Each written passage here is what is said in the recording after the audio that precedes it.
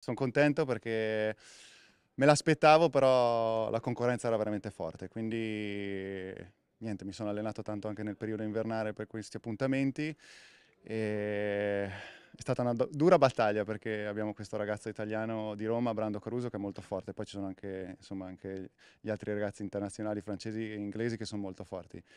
Però è arrivata, andiamo avanti e no, sono contentissimo. Non, non me l'aspettavo, però sapevo di, di, poter far bene. Ecco. La voglia e, e, l'amore per questo sport perché è nel mio DNA, mi ha fatto crescere, insomma la mia famiglia mi ha insegnato appunto, mio padre mi ha insegnato questo sport, mi ha dato la possibilità di viaggiare il mondo, di, di conoscere tanti posti, conoscere tante persone, culture.